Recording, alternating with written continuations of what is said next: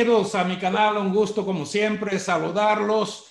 Y también me da gusto saludar a un muy buen amigo que la última vez que estuvimos en una conferencia de Zoom, éramos colegas todavía, pero ahora ya pasa a ser, ya está en un nivel de importancia que le pusieron ahí este, muy elevado. Don Alfonso Chiquini, ya director de marketing de la marca Volkswagen en México. ¿Cómo estás, Poncho? Mi Sergio, me da muchísimo gusto saludarte. Y sí, hace poquito todavía estábamos ahí este, compartiendo espacios y ahora ya estamos acá de este lado. Muy contento. Pues me, da muchísimo gusto. Eh, tú regresas al grupo Volkswagen, ¿no? O sea, ya habías estado antes, tal vez la gente que, que te seguía la trayectoria como periodista no sabía que antes había eso. Entonces no es eh, eh, no es una improvisación, no, vamos a buscar aquí ese nuevo talento, joven talento, como lo muestran sus canas, ¿no? Eh, simplemente, Poncho, regresa a casa, Poncho, y, me imagino que así te sientes, ¿no? En casa. Así es, desde que regresé el día primero de julio, este, yo lo he dicho y lo he estado comentando cada vez que, que, sale el tema, es que sí, regreso a casa, pero además ha sido un regreso como si no me hubiera ido. Es increíble porque con los colegas que estoy, con los que interactúo, con quien trabajo, eh, muchos de ellos son, son eh, colegas que estuvieron en mi época este, cuando estuve la primera ocasión aquí en Volkswagen. Entonces, sí, regreso a casa. Eh, yo inicié precisamente por allá de 1996 en, la, en la, fábrica de Puebla y arrancamos primero en la financiera, después en Audi de México, pero bueno, pues este, ha sido un paso muy, muy interesante y te digo, eh, con muchos, muchos este, con los que he interactuado en todo este tiempo, son, son contemporáneos, entonces pareciera que no me fui. Haz de cuenta que de pronto como que pusimos este, pausa tantito y le volvimos a poner play y aquí andamos los mismos. Y, y no es que cuando estuvieras de este lado, ¿no? Del lado del periodismo, no tuvieras contacto con esa gente, ¿no? O sea a muchos los veías con mucha frecuencia, entonces eso colabora también para, para eso, ¿no? Para esa sensación de que no, es que me haya ido, fue una pausa.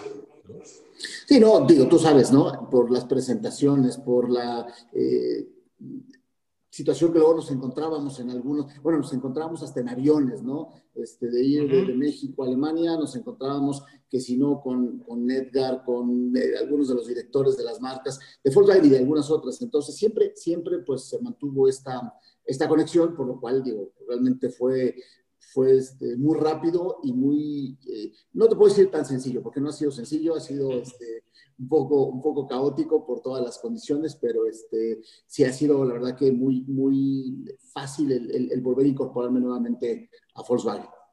Perfecto, Poncho, pero eh, hoy estamos aquí no para hablar precisamente de tu carrera, ni de tu currículum, ni nada por el estilo. Luego, luego otras armadoras van ahí a, a, a mandarte propuestas y no queremos hacer eso por ahora.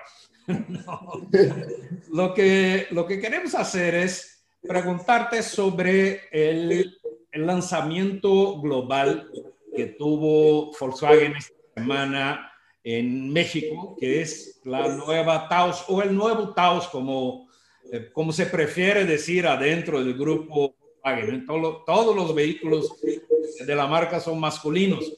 Y me gustaría que platicaras un poquito sobre eso, Poncho, sobre Taos. O sea, ¿qué es Taos?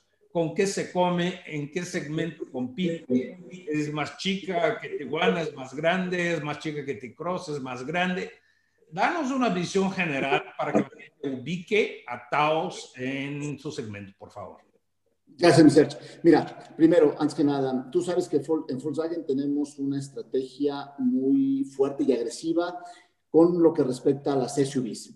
Y precisamente Taos es parte de toda esta estrategia. Taos es eh, nuestro nuevo SUV que llega a incorporarse por arriba de Ticros y por abajo de Tiguan, en todos los sentidos.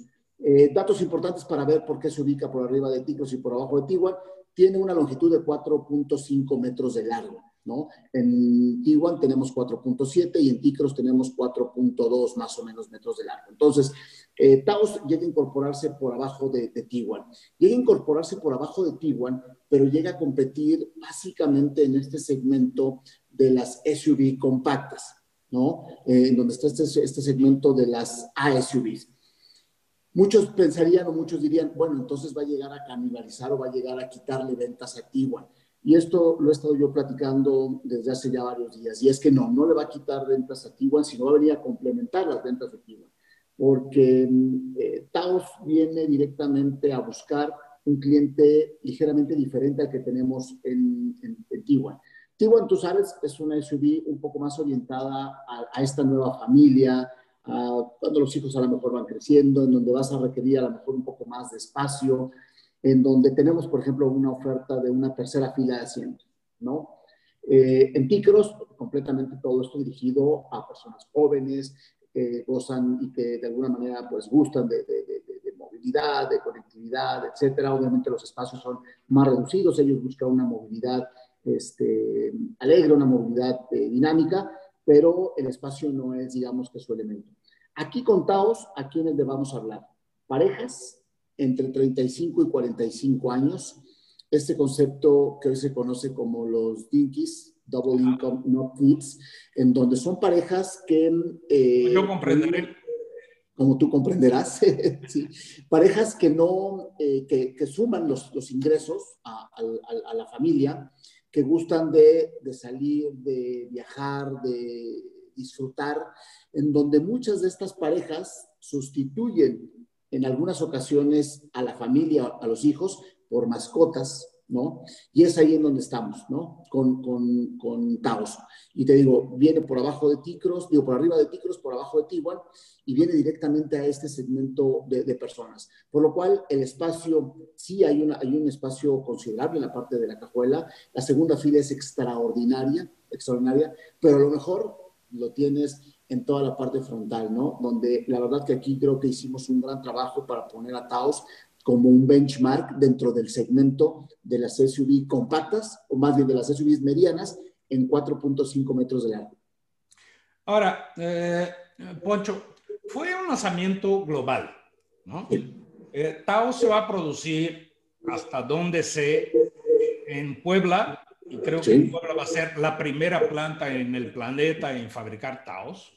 Eh, también se va a, fa a, fabricar en Argentina, ¿no? Uh -huh. eh, pero no en este momento, un poquito más tarde. Eh, mi, la conclusión a la que llego es que Taos mexicana, digamos, va principalmente al mercado de Norteamérica, tal vez algunos lugares, tal vez Europa, no sé, me lo, me lo dirás ahora, y Argentina un poquito más a Sudamérica, ¿no? al mercado brasileño, chileno, al propio argentino, etc. Eh, Habrá otro mercado en China, es esa parte, y, digamos, lo, lo, manejamos de una manera diferente. Yo creo que allá Tao se llama distinto. ¿no? Entonces, eh, ¿es así? O sea, la Taos mexicana está orientada solo para Norteamérica o hacia dónde más se va a exportar? De entrada, lo acabas de decir ahorita muy bien. El día, esta semana se presentó Taos y justamente con la presentación de Taos, de manera paralela estaba saliendo la primera unidad de la línea de producción de la fábrica de Puebla. Uh -huh. México es eh, quien va a empezar la producción de Taos y México será el primer mercado donde se comercialice Taos. Importante a nivel mundial. Ahora, sí, efectivamente, hay otros, eh, otros complejos, otras eh, fábricas donde se va a producir Taos que directamente será la fábrica de Pacheco en Argentina y la producción que se tiene para eh, China, que es únicamente producción local allá. Inicialmente, inicialmente te digo porque eso es lo que hoy está en, la estrategia. Eh, la producción de México va a estar distribuida entre la región, Estados Unidos, Canadá y México, y la producción de la fábrica de Pacheco allá en Argentina estará directamente eh, suministrando unidades para el Cono Sur, para Sudamérica. Okay. ¿no? Ellos empezarán el próximo año. Tú sabes que todo esto tiene que ver con eh, crecimientos y oportunidades en diferentes mercados. Ahorita no se tiene previsto que se vaya a Europa, Taos, pero no lo sabemos. Tú sabes que son evaluaciones que todos los mercados estamos haciendo de manera constante.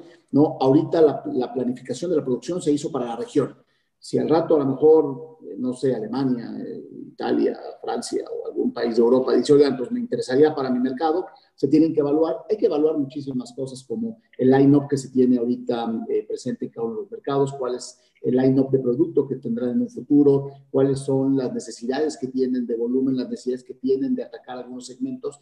Y si en un momento dado Taos puede de alguna manera satisfacer necesidades, seguramente se estarán considerando. Pero ahorita la producción está únicamente dedicada para la región de Norteamérica, en el caso de México, y en el caso de Pacheco, de allá de Argentina, para las necesidades de Sudamérica.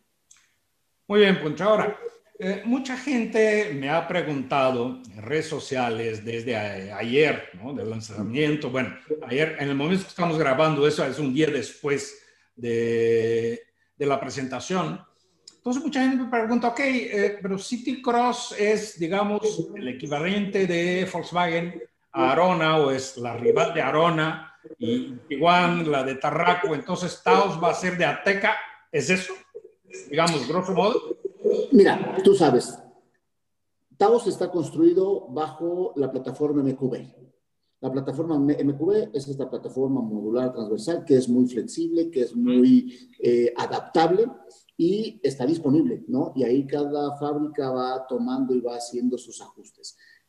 A lo mejor en dimensiones y en proporciones podríamos eh, ver algunas similitudes, pero lo que sí es que la propuesta de manejo, la propuesta de interiores, la propuesta tecnológica, la propuesta en seguridad, la propuesta en muchos aspectos es completamente diferente. Ya tendrás oportunidad en breve de poderle poner manos, de manejarla, de sentirla, de convivir con ella y vas a ver... No, no, no, por supuesto, no, por supuesto. De entrada es un manejo, un manejo muy Volkswagen. Son de esas cosas que luego cuesta trabajo explicar, pero hasta que no tienes la oportunidad de manejarla, de vivirla y de compararla, sabes a lo que me refiero.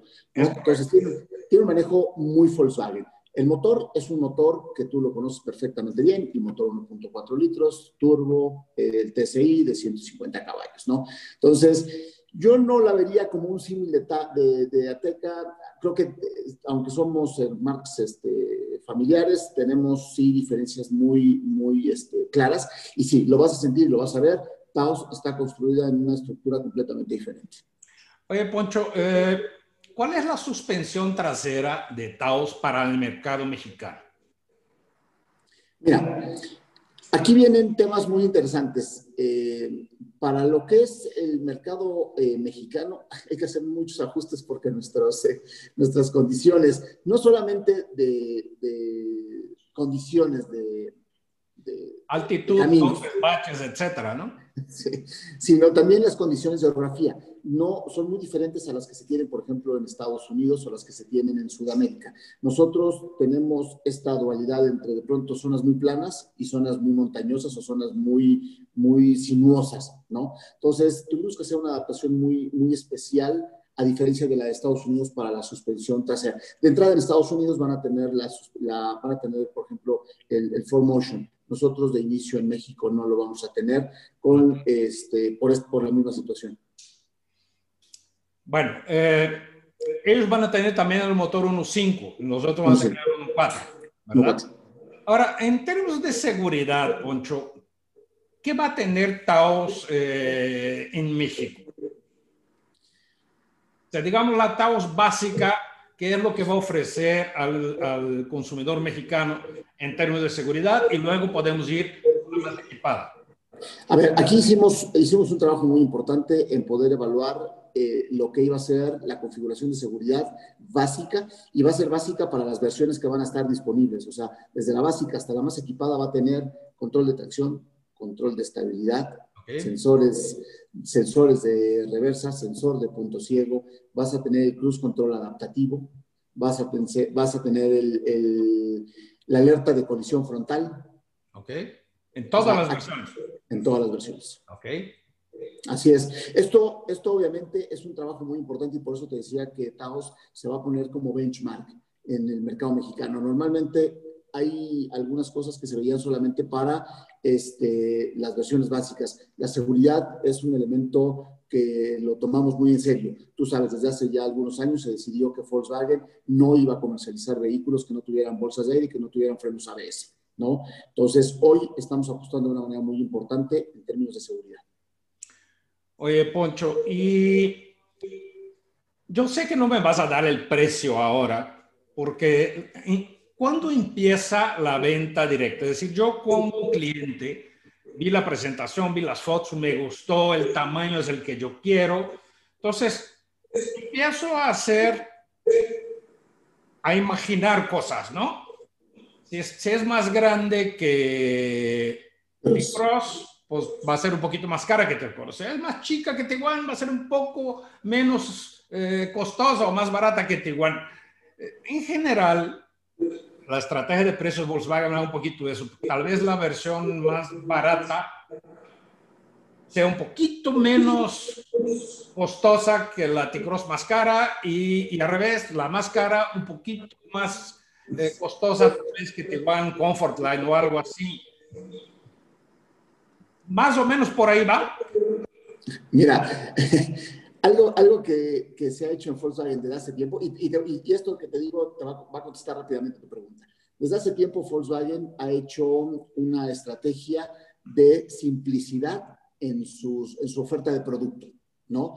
Si te fijas, no tenemos muchas versiones. Somos una marca que eh, se dedica y que va con versiones muy bien definidas y nunca nos gusta tener, ya sabes, esta más el equipo, más el otro equipo, más el otro equipo, y entonces se hacen ahí una serie de, complicaciones. Somos muy, muy sencillos, somos muy simples en esa parte. Normalmente trabajamos con dos, tres o máximo cuatro versiones. En algunas ocasiones por ahí tenemos o metemos ya algunas diferencias entre que si caja manual y automática, podríamos hablar de cinco versiones. Pero básicamente toda nuestra oferta siempre está planteada en tres versiones. ¿No? Y vete, por ejemplo, al, bueno, al Jetta ahorita en este momento, ¿no? Tenemos cuatro ahorita en octubre, pero ya en noviembre nada más vamos a tener tres, ¿no? Pero siempre tenemos una versión eh, Trendline. Comfort Line y Highline. Eso es más o menos nuestra configuración. Y de ahí, si te fijas, viene en todos los productos. Algo similar viene con Taos. Entonces, con esa simplicidad que nosotros tenemos, rápidamente puedes ver el rango y la proporción en donde va a quedar. Digo, además a ti que te digo si tú ya te la sabes. pues sí.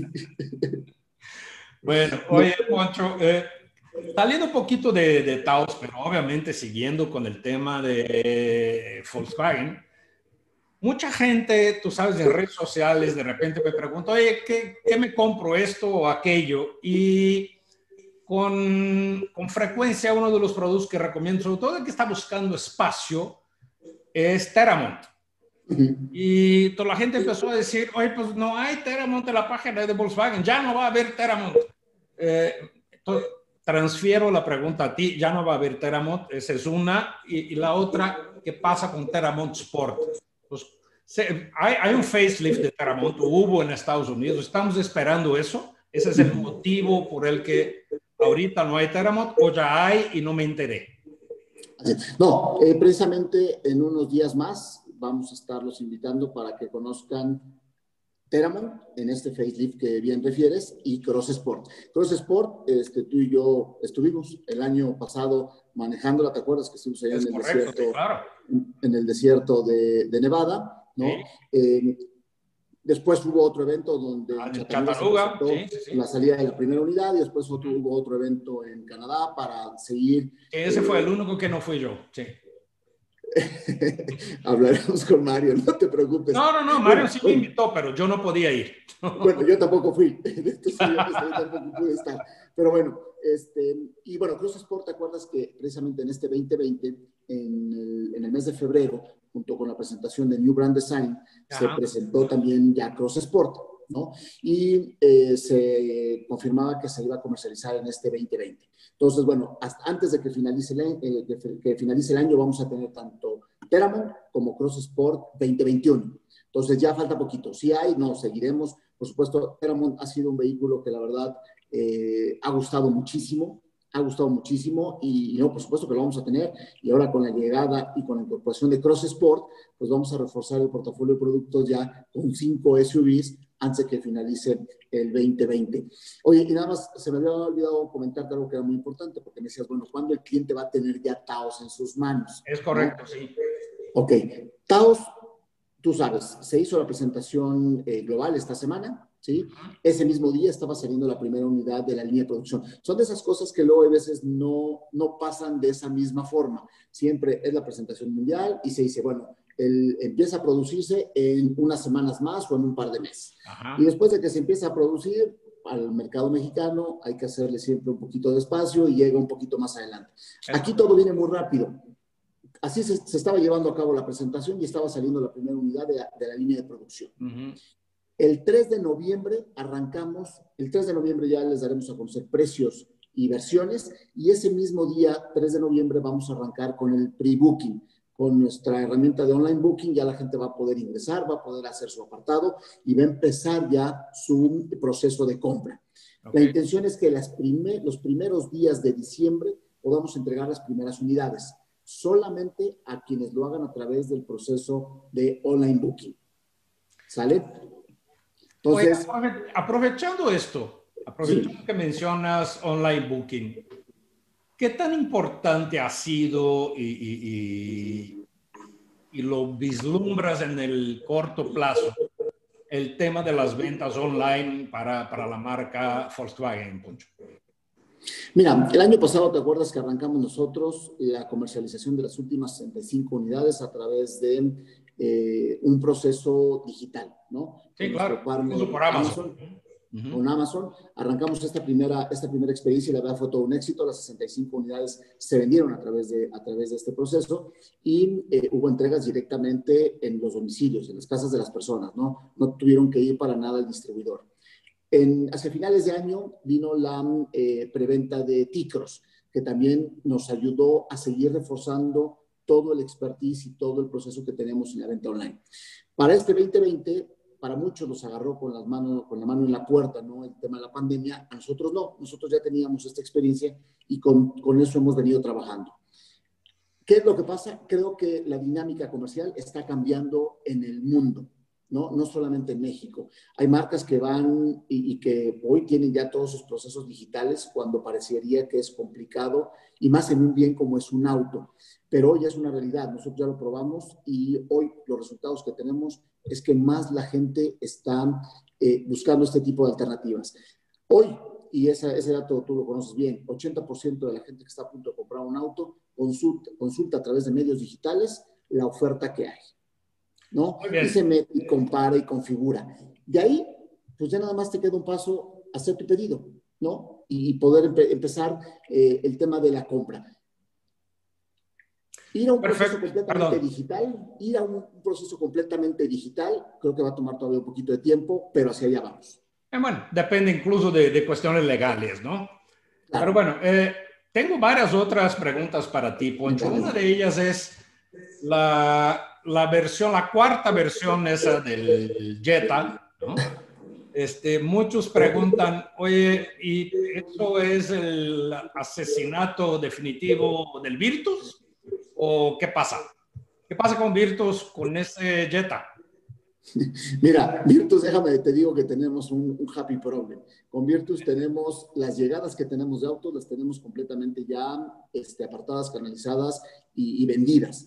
Entonces, este, no, Virtus, no, Virtus es un, vehículo que hoy en día es importantísimo dentro del portafolio. Virtus tenemos obviamente expectativas muy altas todavía de él y más adelante ya platicaremos de, de novedades que vendrán con Virtus.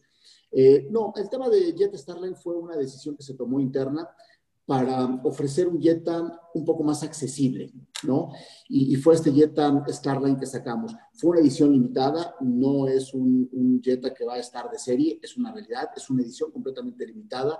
Es más, nosotros solamente se produjeron 3.400 eh, unidades, no más, y no hay posibilidad de producir más en este momento. El próximo año, mediados, no lo sé, esto todo está cambiando, pero ahorita no hay nada en, la estrategia para volver a producir Starline. Se acaban estas unidades, que ya nos quedan muy pocas este, en, los distribuidores, y se acaban, y no va a haber más Starline. Y no, esto que decías que si de alguna manera sería la puntilla para... No, al revés, nosotros tenemos eh, fincadas unas, unas este, este, esperanzas y estrategias muy fuertes en Virtus, entonces no, no, no, no, ahí venimos con cosas también interesantes con Virtus. Perfecto entre Virtus y T-Cross pudiéramos descartar o hay esperanzas de que en el mediano plazo veamos algo con un, un turbocargador adentro de sus cofres? Tú sabes que una de las estrategias importantes de Volkswagen tiene que ver no solamente con la electrificación, sino con mejorar los consumos de combustible, ¿no? Uno de los elementos que siempre apoya y siempre aporta a esto es la incorporación de motores turbocargados, ¿no? Y eso ha sido una estrategia de Volkswagen y ya otras marcas también así lo están haciendo. Si me dices que si tenemos en vista, sí, sí, lo estamos analizando, estamos viendo, hay que hacer muchas cosas de por medio, pero este, sí, vamos para allá vamos para allá. Es más, hoy, hoy, hoy lo puedes ver, ¿no? Nosotros tenemos la oferta, por ejemplo, de Jetta completamente orientada a motores turbocargados, Taos completamente turbocargados, este, Tiguan, Tiguan, completamente turbocargados. La oferta de Cross Sport es un, es, eh, digo, de, de, Teramon tendrá también una alternativa este, turbocargada. Entonces sí, estamos trabajando, este, hay que hacer muchas adecuaciones, pero así ya vamos. Perfecto. Eh, ahora, Golf. ¿Qué pasa con Golf? Golf ya no se produce en Puebla. ¿Es correcto? No, sí, no, sí se produce. Te pregunto, ¿sí sigue produciendo? ¿Hasta cuándo eh, se mantiene la producción del Golf en Puebla? ¿Hay fecha? Porque ya hay una nueva generación de Golf en Europa. Sí, la octava generación de Golf, tú sabes que ya se está produciendo allá en Alemania, ¿no? Eh, pero la séptima generación de Golf se sigue produciendo en México. Nosotros seguimos produciendo tanto el Golf como el Golf GTI, ¿no? Que precisamente en breve, en breve, en breve, en breve, te vamos a, dar ahí una, una, noticia interesante con respecto a GTI. Ya, hay que esperar poco, hay que esperar poco. Dijimos que el cierre de año va a ser un, cierre de año muy, muy, muy lleno de noticias y de información y para allá vamos. No, se seguirá produciendo, todavía tenemos un periodo hacia el 21 para seguir produciendo Golf. El, el digamos, el espacio de la planta donde se produce Taos, ¿qué se producía antes? ¿Qué produce? No, ¿qué se produce? Golf. Estamos compartiendo con la línea de producción de Golf. Golf y Taos se producen en la misma línea de producción. Perfecto. Sí, que es una de las más modernas que tenemos en México. Perfecto, perfecto. Eh, ahora, eléctricos, ¿no? La marca ya tiene ahí una ofensiva de vehículos eléctricos muy fuerte, es Poncho en Europa, el ID4, el crossover, etc. ¿Cuándo, ¿Cuándo, vamos a tener un Volkswagen eléctrico en nuestro país? Apenas hace una semana y media, dos semanas se presentó ID4 en Estados Unidos. Fue un hitazo en Estados Unidos la presentación de ID4 primer SUV completamente eléctrico. El primer eléctrico fue ID3 que se presentó el año pasado en el Auto Show de, de, Frankfurt. Cuando todavía existía el Auto Show de Frankfurt.